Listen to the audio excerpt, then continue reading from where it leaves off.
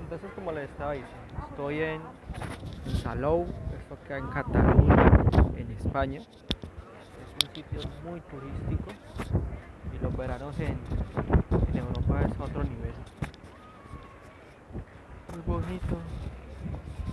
Lo que me gusta a mí, esa muestra multicultural que se evidencia en los países del primer mundo